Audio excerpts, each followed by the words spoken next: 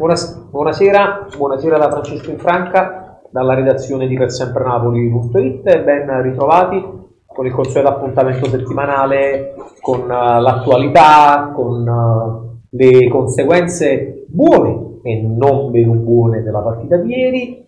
E il parterre oggi è allargato e fedeli a quello che è il titolo della trasmissione parleremo francamente senza peli sulla lingua della partita di ieri anche di altro con Luciano Tarallo Buonasera. e con il collega Mario Passaretti di Cuore Azzurro. Buonasera a tutti.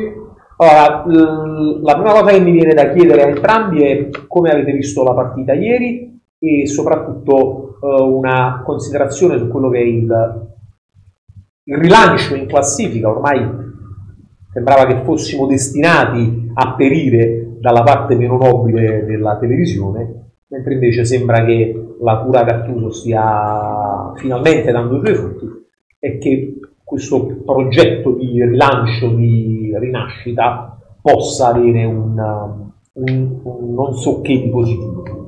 Luciano. Inizio io. Allora, per quanto riguarda la classifica, abbiamo scalato qualche posizione, siamo decimi, quindi il numero 10 mi fa venire in mente tante cose.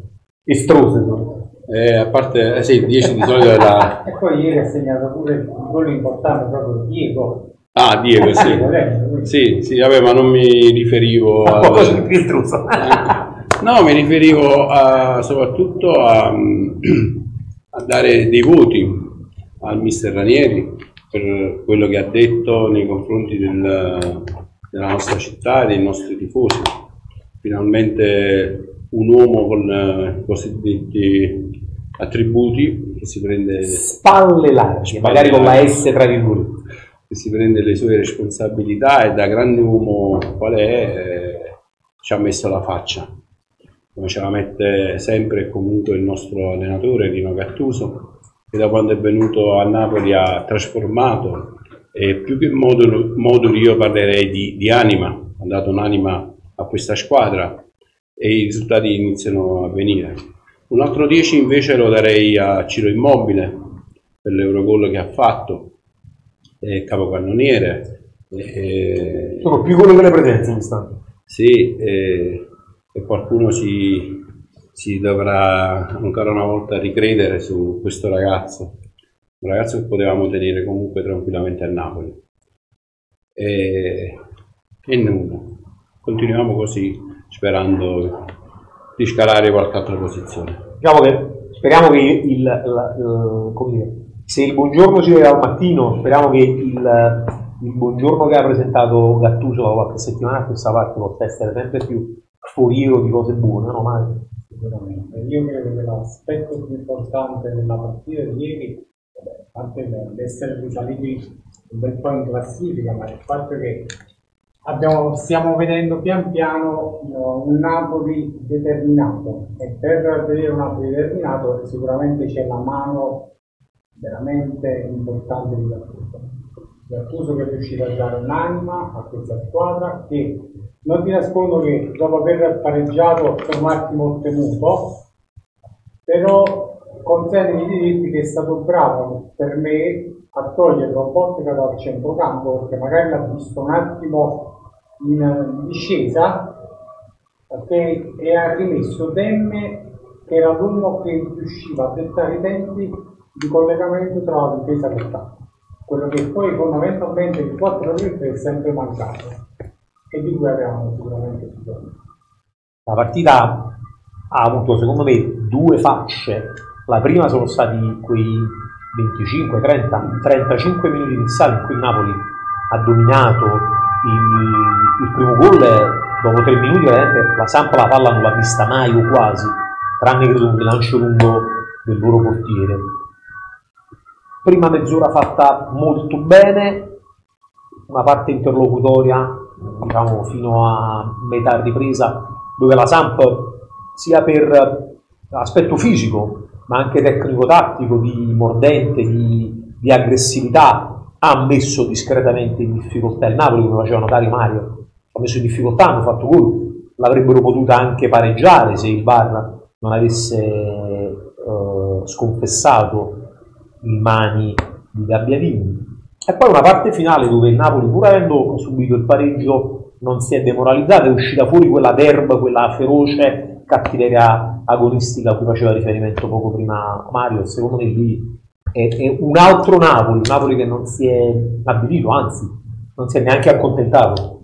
Eh, forse eh, qualche mese fa questa partita non si sarebbe nemmeno pareggiata. Eh, col Parma, eh, la prima di, di Gattuso, magari ti potevi accontentare del punticino, invece prendi gol nel, nel finale con quella ripartenza sciagurata. Io mi riferivo prima al 10 a Mister Gattuso, il quale oltre a metterci la faccia veramente ha dato più che a parte l'impostazione eh, tecnico-tattica ha dato un'anima a questa squadra. E un altro 10 vorrei dare al capitano azzurro visto che noi ci abbiamo sempre messo la faccia. Ci ha rimesso la faccia anche ieri sera in un'intervista a Sky ha detto e ha riconosciuto eh, le colpe dicendo eh, a chiare lettere abbiamo fatto danni quindi quello che noi supponevamo eh, nei mesi precedenti quando davamo la colpa al 33% ai giocatori e, l'altro 66% da dividere tra società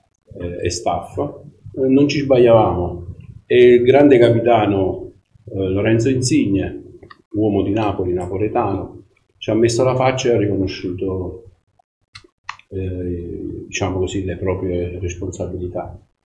E questo gli dobbiamo dare atto che è un grande calciatore, è un grande uomo. Mario, pensi che la cura Gattuso abbia fatto bene nel complesso a un po' tutto il gruppo?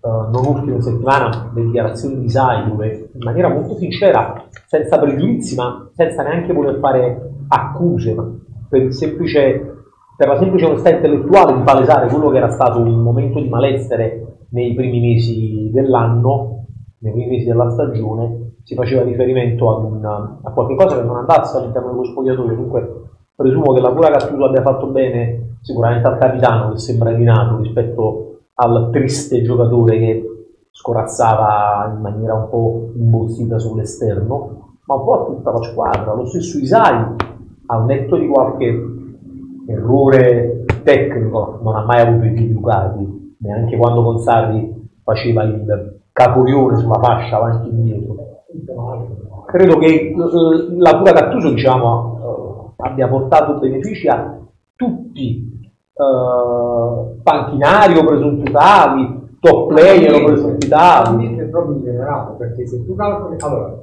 per me ha fatto bene sia a livello fisico perché cambiando pure la, metodo, la metodologia dell'allenamento rispetto alla, alla precedente stagione di Ancelotti, alla cura Ancelotti Ora è arrivato un allenatore caparbio, determinato, i calabresi non lo scopro io, ma sono persone testate che lottano fino alla fine. Lui ci sta mettendo la faccia, è ovvio che non potevamo pretendere che appena arrivato lui potesse già dare la sua impronta sulla scuola. Però col tempo lui sta lavorando e i suoi frutti, oltre che a livello psicologico, si stanno vedendo anche a livello fisico.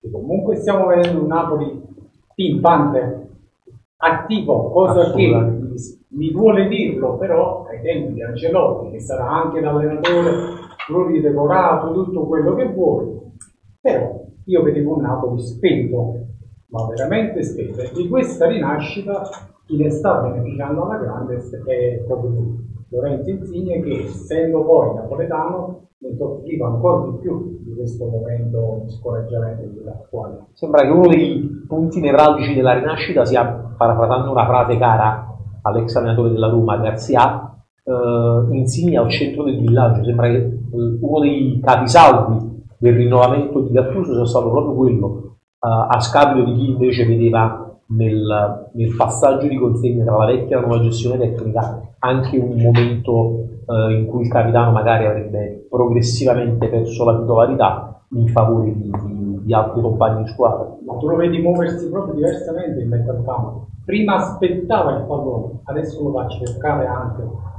Tu l'hai conosciuto sin dai tempi della primavera, Luciano. Ne abbiamo parlato spesso.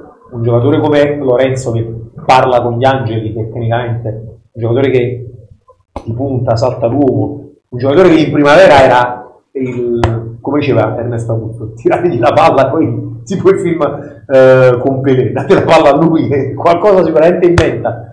E sembrava strano che invece non riuscisse a palesare tutto il proprio talento, come faceva notare Mario, eh, quasi imbossito, eh, la cosa che mh, veniva a, subito all'occhio non saltava più l'uomo. Oggi invece al lavoro scuro in fascia Uh, lunghe diagonali, rincorse del terzino avversario, sino ai limiti della propria area di rigore, però è, è, palese che sul piano della proposizione, sul piano del, anche del divertimento, fa numeri che magari fino a, a tre prova a fare numeri che fino a 3-4 settimane fa magari non avrebbe neanche tentato, si sarebbe limitato a appoggiare la palla al compagno.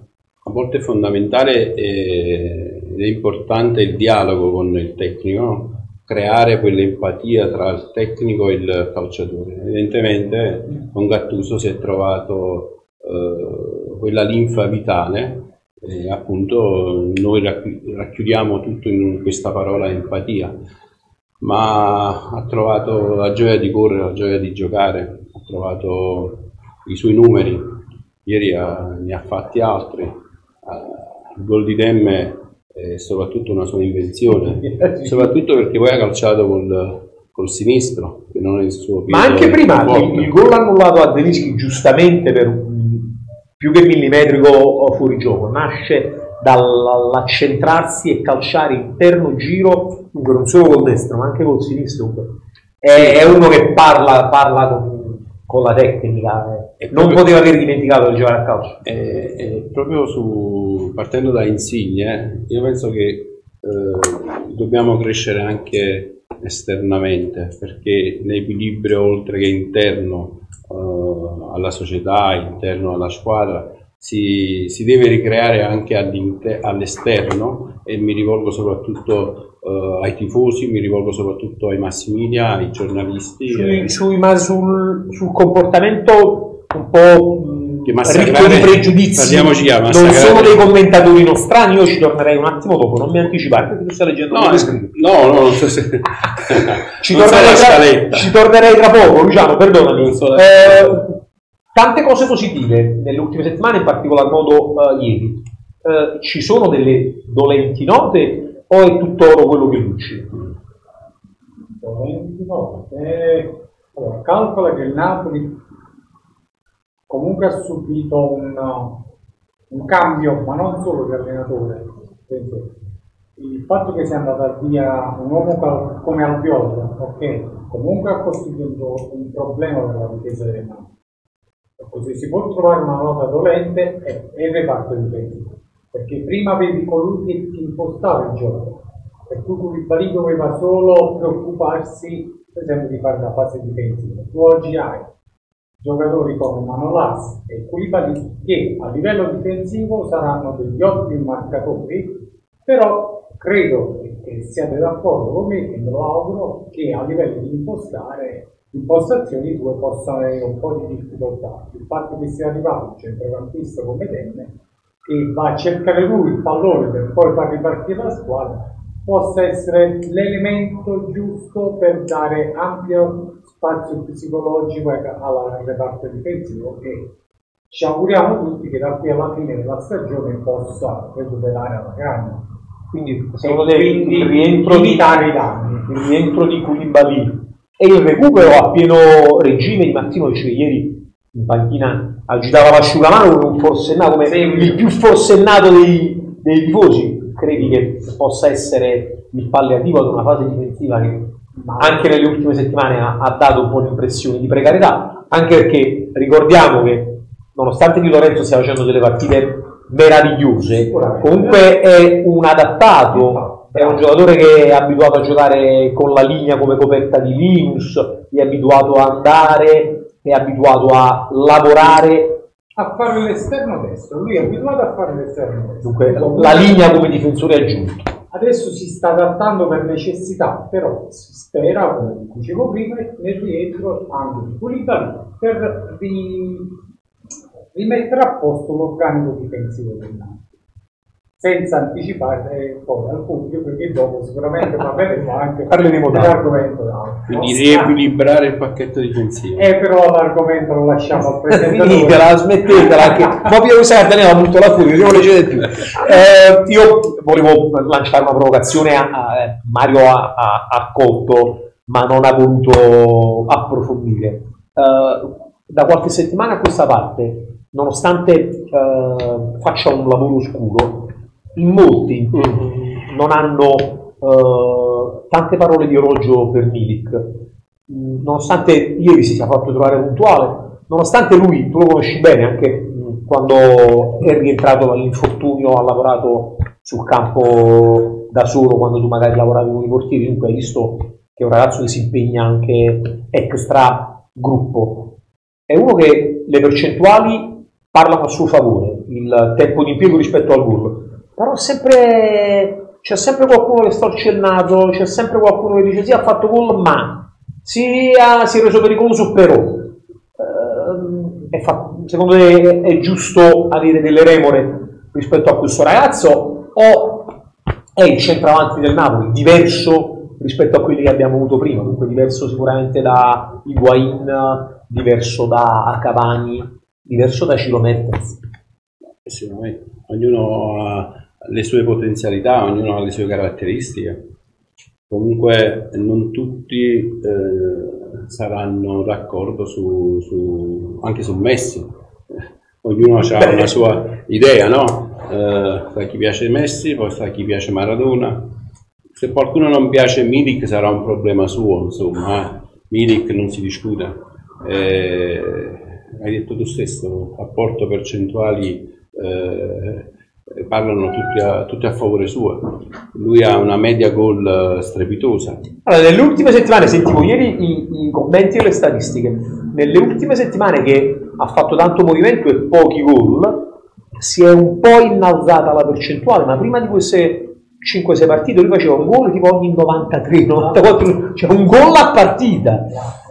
Eh, a me personalmente piacciono altri tipi di centravanti. So che ho un pregiudizio perché a me piace un giocatore che fondamentalmente come, come Vieri, e parlo di Vieri non per scomodare eh, eh, l'accostamento con Petagna, eh, magari Casiraghi, magari Vialli, gente a cui piaceva fare letteralmente a spallate con l'avversario. Milik è uno che anche per, per, per tecnica è uno magari eh, gli piace più venire a giocare sui lati, rif- rifugire il contatto fisico, è uno che nell'area è mortifero. Ieri ha, ieri ha toccato mezza palla, fatto gol. Allora, stai parlando con uno che è un estimatore.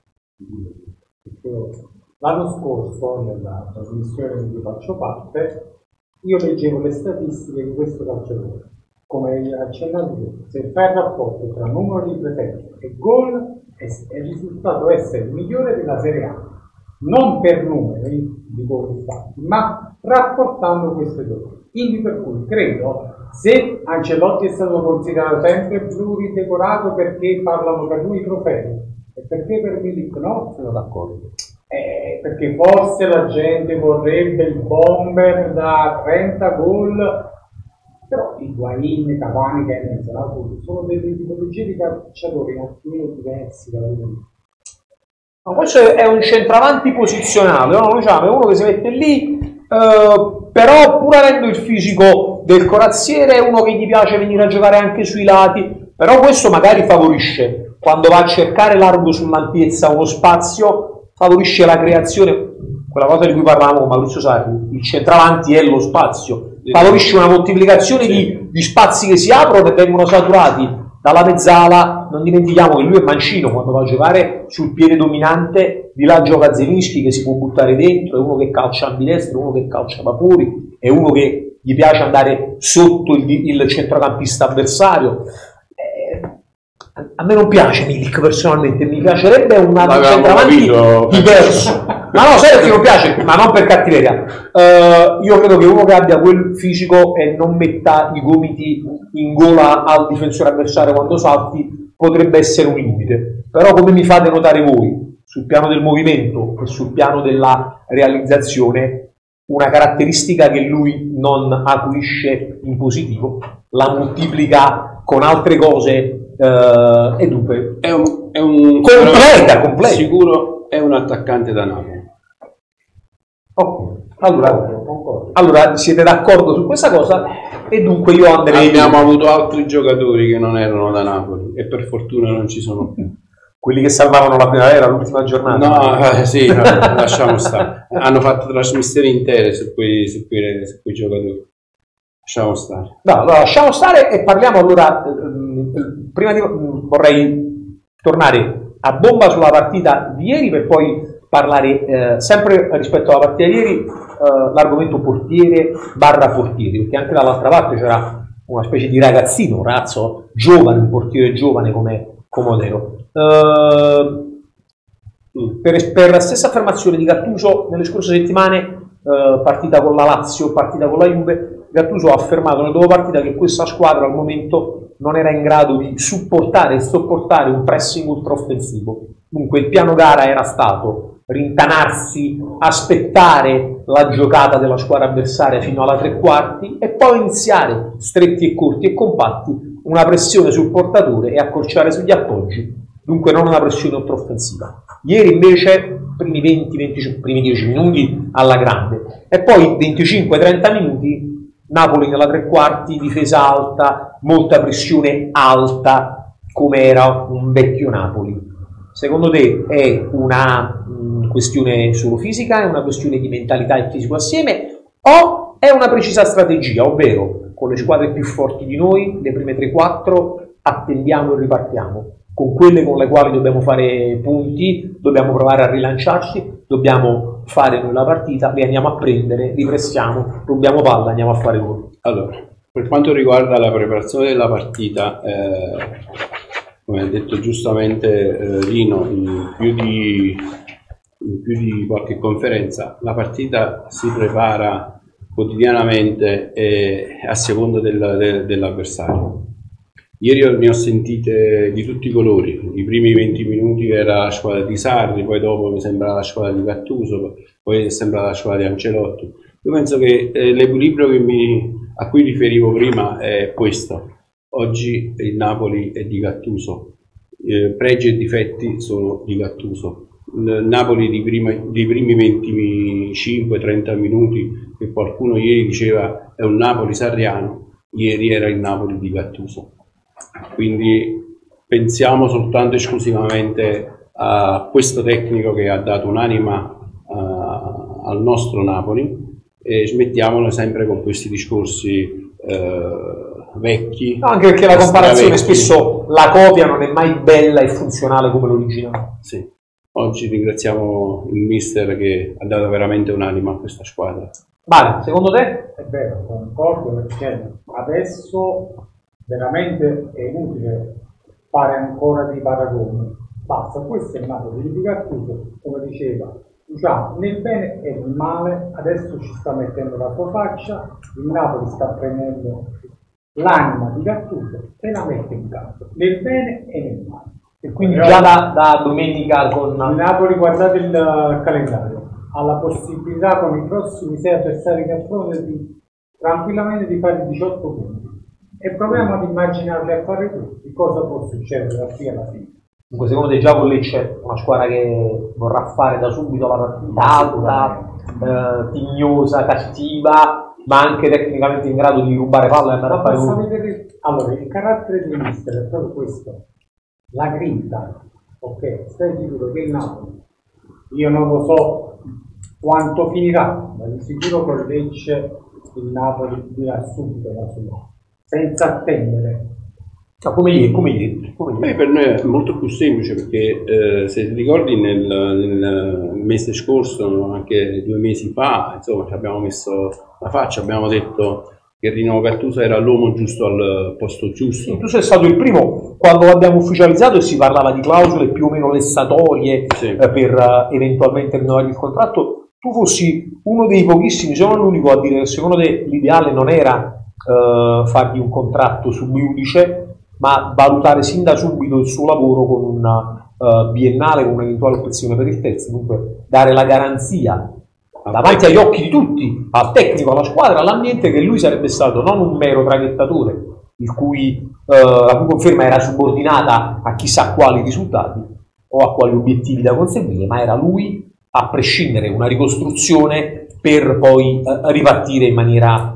Eh, come è successo? Come sta eh, succedendo? Perché a me piace come Rino metterci la faccia, sempre e comunque. E allora mettiamoci la faccia subito. Eh, 2 a 0, 2 a 2, un meraviglioso gol di Quagliarella. Eh, secondo qualcuno, secondo troppi a mio parere, ma poi sembra che io voglia fare Uh, voglia vendere il mio pensiero, il mio pregiudizio su chi piace e chi non piace rispetto a quelli che sono in rosa al Napoli, uh, colpa o corresponsabilità di Alex Meretti. Uh, dopo lo chiederò al collega che era in tribuna stampa, lo chiedo al preparatore dei portieri. Parliamo del gol di Guagliarella, dunque parliamo di, del tiro, ne parliamo dal punto di vista tecnico-tattico, dal punto di vista biomeccanico e parliamo, analizziamo il movimento di Meret e spieghiamo a quelli pieni di pregiudizio perché l'Airone non poteva fare assolutamente nulla. Anzi, paradossalmente era meglio se stava, eh, eh, rimaneva eh, fermo e prendeva gol, magari non, non, nascevano tutte le polemiche, anche striscianti, che sono nate sul gol dell'1-2. Ma è una palla che viene da, da destra, ok? Eh, il movimento bellissimo che fa Guagliarella è un movimento e contromovimento da insegnare nelle, nei settori giovanili. E, Ed è quello che provoca lo scivolamento in Isai, il movimento largo stretto esatto. che, che rende fa sconocchiare Isai. Di solito è uh, chi riceve la palla che detta il, il passaggio. Lui fa un movimento e contromovimento, fa sbilanciare Isai e facendo questo movimento, eh, questo lo fa tutto questo accade in 2-3 mesi. Palla poi una frazione di secondi. Una frazione di secondi eh, e sbilancia poi i, i SAI. La palla che viene da destra è una, una, signora palla, un lancio che viaggerà sicuramente sui 70-80 km all'ora. Si vede, eh, qualsiasi tecnico riconosce il gesto tecnico di, di Guagliarella, è un movimento coxofemorale, prende la palla di interno piede e facendo perno sulla gamba sinistra, lui non solo calcia benissimo verso la porta e questa palla se si vede bene dalle immagini fa anche un giro prima largo e poi verso la porta, ma incrementa anche la velocità del, del lancio. Perché incrementa? Perché eh, quando è che si ha un aumento eh, della velocità del pallone? Si ha un aumento della velocità del pallone quando c'è una traslazione eh, del piede verso il, verso il, centro di massa del piede stesso, cioè praticamente lui fa perno sul, sul piede sinistro e col movimento coxofemorale colpisce così bene la palla che gli dà un incremento di velocità. Di solito incremento di velocità, nel senso eh, come l'ha colpita eh, così Guagliarella, eh, si ha dello 0,58-0,60% minimo di aumento di velocità. Quindi quella palla viaggerà sui 130-140 km all'ora. E tutto avviene in, in una, una, frazione, una frazione di, di, di, di, secondo. E quindi quel valore aggiunto che dà uh, Quagliarella, quella velocità in più che dà Quagliarella a quel pallone è, è tanta roba. E Meret viene anche in quel momento eh, distratto da questo movimento contro movimento, perché se vedete bene le immagini, lui trasla un po' in più verso il lato destro della porta. Perché? Perché, perché la palla viene e lui chiaramente scivola la difesa verso la palla, assorbe il movimento, ma anche lui tende non resti al centro della volta, assorbi in maniera funzionale sì. e situazionale secondo lo sviluppo dell'azione. Se no io non mezzo alla inizierei Meret. Io in quel caso lì faccio un applauso al, a Quagliarella e se si vede, si chiama variazione incrementale, lui lo sguardo di lo stiamo, di, guardando, di lo stiamo guardando in video. Lui mentre fa il contromovimento, il suo sguardo è verso il pallone, cioè l'angolazione, lo sguardo è sempre rivolto verso il pallone. Lui la porta non la guarda proprio più, la sente. la sente la porta con la visione periferica e eh, questa situazione si chiama variazione incrementale. Col movimento coccosofemorale lancia questa, questa palla violenta verso la porta di Meret.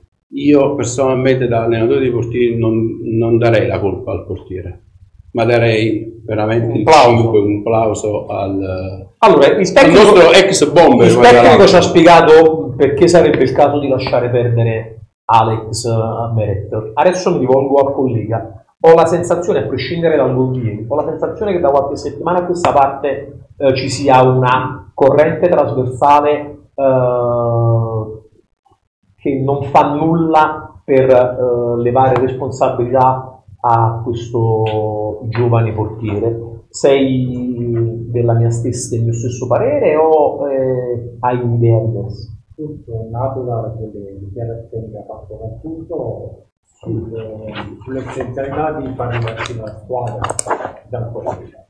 Ok? Ora, eh, poi sai meglio di me che questo ambiente giornalistico capace che eh, da una parola ci costruisce su un titolo. Però se un valore come quello di Meret viene messo in discussione, penso che sia una cosa molto grave. Perché ieri l'unica cosa da fare è, è dire chapeau, a fare un chapeau a Quagliarella, fare un applauso a Quagliarella per quello che è realizzato. Perché fammi capire cosa avrebbe dovuto fare Meret. Io ti chiedo a livello tecnico cosa No, non lo dica a me, io onestamente è da settimane che dico di, di- di lasciare perdere Meret perché il pregiudizio che c'è nei confronti di questo ragazzo è palese, non è neanche più tanto strisciante e credo che eh, dovremmo prendere esempio da quello che hanno fatto altre società quando hanno fatto una scelta analoga. Ad esempio il Milan ha tutelato eh, Donnarumma sempre, comunque di ogni caso. E a inizio carriera il buon Gigio qualche fesseria l'ha fatta.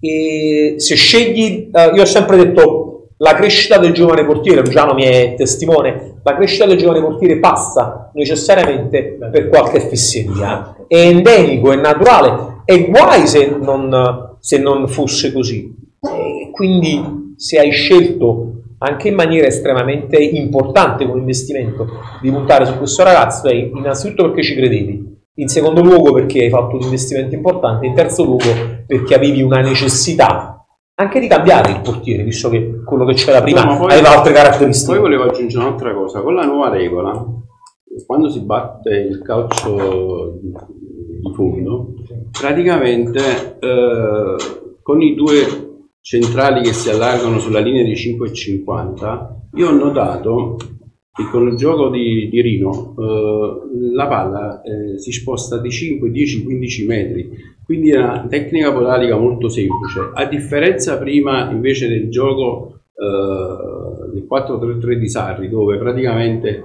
i due esterni salivano e il centrale di centrocampo si la abbassava. cosiddetta salita alla volpiana. Esatto, era eh, Pepe Reina che era costretto a fare il lancio di 40-50 metri e là era un maestro e era bravo a pescare l'uomo sulla fascia. Con questo, eh, questa novità diciamo di, di, di regola gioco, eh, mh, si evita quasi il lancio sui 40-50 metri, ma così come eh, l'ho visto ieri, ma l'ho visto anche in altre partite, mh, spesso si esce con eh, palla al piede dal- dall'area di rigore col centrocampista centrale. Quindi il fatto che bisognerebbe essere Evita al portiere di fare un lancio di 40-50 metri, che è la cosa poi tecnicamente un po' più difficile per uno che è abituato A più a, giocare. a giocare con, con, con alla con le mani, breve. con i piedi, a meno che tu non abbia una scuola eh, già da settore giovanile dove ti hanno insegnata che, insegnato che il 70%, 60% dei lavori eh, quotidiani li- tu li faccia con la tecnica podalica, sia nel semplice che sia nel complesso. Io vi ringrazio, voi siete stati estremamente eh, tecnici e, e collaborativi, però io che sono mh, generalmente un- uno che non si accontenta mai, 30 secondi sull'ultimo passaggio vorrei farlo partendo da Mario. Eh, ieri c'è stato l'ennesimo fenomeno di sordità selettiva da parte di Sky. Eh, sordità selettiva che ormai il gruppo arbitrale dà per scontato, visto che all'AIA sono sordi per partito preso, ma là magari è un altro, eh, chi è tesserato AIA magari eh, a altri parametri di valutazione comparativa, sa, tra coloro i quali sono autoreferenziati, parlano un linguaggio che noi comuni mortali non conosciamo. Mi sembra strano, mi fa piacere che Ranieri abbia eh, sentito l'esigenza da uomo, da allenatore, da uomo di sport, di dire determinate parole. Mi fa piacere che appena la linea è tornata allo studio, il grandissimo Condò, un giornalista meraviglioso, abbia, abbia sentito l'esigenza di stigmatizzare questa cosa. Vorrei un tuo parere sull'ennesima prova di otite selettiva da parte di Caressa e del collega che faceva il commento tecnico. I numeri parlano, non è il primo episodio, giusto? No, sai perché dico cosa? Perché io sono uno dei pochi che non tiene il pezzotto. E prima che come giornalista da napoletano e da fruitore di un servizio che paga profumatamente, perché grazie, parliamoci veramente, Sky è un bene di lusso, non ce l'ha ordinato il medico di tenerlo. Io ho una bimba piccola, le devo garantire anche i cartoni. Mia moglie è appassionata di cinema, ho il pacchetto completo ed è un bene di lusso. Non è, non, è, non è, il pane e il latte che ti ordina il medico. E dunque mi chiedo, da napoletano, prima ancora che da fruitore di un abbonamento che paga in maniera uh, puntuale, mi chiedo perché mh, continuare con questa audita selettiva, perché non andare da, a, da un motorino, insomma. Perché a volte interessi di testata? Eh, probabilmente sì, sì, forse è sintetizzato alla grande il tutto, no? Quando ci sono fattori del genere, veramente chissà perché, ma... Ok, secondo Mario interessi di testata, secondo Luciano? Sordità selettiva? No, ma anche qualche tecnico dimentica o non sente, eh, qualche tecnico, qualche presidente eh, questo è, un danno per, per, uno sport meraviglioso come il calcio. Io penso che mh, se non lo si faccia in tempo reale non lo si possa fare diversamente. Io abbandonerei il campo quando sento sento queste. Eh beh, c'è stato un arbitro due stagioni or sono che ha cercato di, di porre rimedio, gli hanno distrutto la carriera. Lasciamo perdere, stendiamo un velo pietoso su questa cosa. Vi ho fatto sapere che c'è un abbonamento e lo pago, non tengo il pezzotto, non era un problema vostro. Saluto Luciano Tarallo, lo ringrazio sempre e comunque per le sue chicche tecniche che spiega ai nostri telespettatori facendo comprendere quello in maniera semplice quelle che sono cose estremamente complesse. Ringrazio il collega Mario Passaretti, ringrazio soprattutto coloro i quali mi sopportano e sopportano il mio essere logorroico, saluto i nostri telespettatori, vi invito a rimanere connessi con noi, a interagire con le nostre pagine Facebook, guardate, fateci guardare, fateci sapere cosa vi piace, ma soprattutto fateci sapere cosa non è stato di vostro gradimento. Io, la redazione di Per Sempre Napoli, i colleghi, i tecnici, proveremo a porvi rimedio. Buona serata a voi. Buona serata.